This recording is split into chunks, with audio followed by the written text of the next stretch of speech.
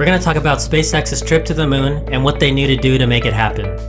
Tourism is a huge global industry and growing larger every year. Will it soon include trips to space? Let's find out. Welcome to NeoScribe, research in the future for you so you don't have to. In 2014, the world spent $1.2 trillion traveling to other countries.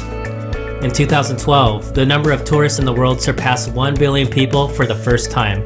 There are so many awesome places to visit in this world, like the Ice Hotel in Sweden, made entirely of ice and snow every year, or an African safari where you can observe nature's most iconic animals in the wild, such as lions, elephants, giraffes, rhinos, and cheetahs. And in 2018, it may be possible to once again tour outer space. The last space tourist was Guy Laliberte, who flew on the Soyuz rocket to the International Space Station on September 30th, 2009. After the space shuttle retired, the Russian Soyuz was the only rocket and spacecraft available to send astronauts to the International Space Station, so there was no more room to send tourists um, into space anymore. But SpaceX is looking to fill that gap. On February 27, 2017, Elon Musk announced that SpaceX will fly two private citizens around the moon in 2018. It is not known at this time who these citizens are, but they've already spent a lot of money on a deposit for the trip. And the actual cost of the trips isn't known yet, but some believe that it's going to cost between 433 million to 1.3 billion dollars. The tourists will be launched from the Falcon Heavy rocket on board the Dragon spacecraft on a week-long trip around the moon. It will be a 400,000 mile journey. The tourists will skim the surface of the moon and take a long loop around the moon before returning to Earth. And according to Space.com, the Dragon spacecraft will work autonomously and the tourists will not pilot the craft and they're only going to be trained for emergency situations. The moon trip will happen once SpaceX delivers NASA astronauts to the International Space Station, which is supposed to happen around mid 2018. And this will successfully complete those missions um, and will essentially approve the Dragon spacecraft for human spaceflight. Another thing that needs to happen is that the Falcon Heavy needs to be working properly.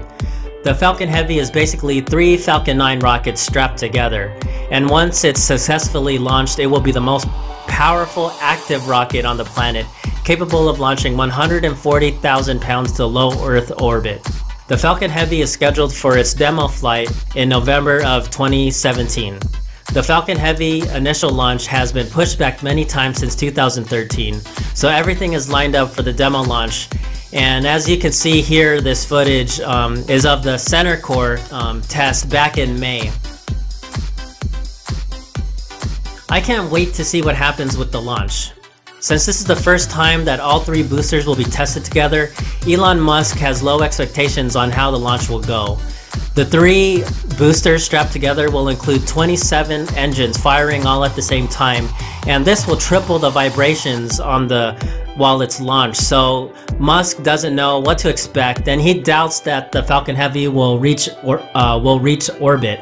He says if if the rocket launches far enough to not damage the launch pad, then that will be a success in his opinion. So the estimated timeline of what to expect involving the Falcon Heavy is the demo flight coming up in November. Then there's a Saudi Arabian communication satellite scheduled for early 2018.